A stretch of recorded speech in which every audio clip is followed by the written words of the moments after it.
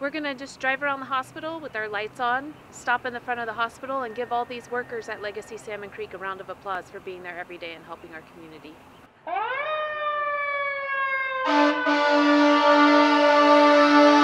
It's more just to let them know that we appreciate them, and we know they're on the front lines too.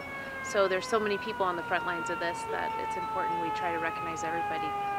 And then we just really worry about our hospital personnel because we know after watching Italy and New York that they're the ones that are going to get hit the hardest. So it's just a show of appreciation that we know they're out there.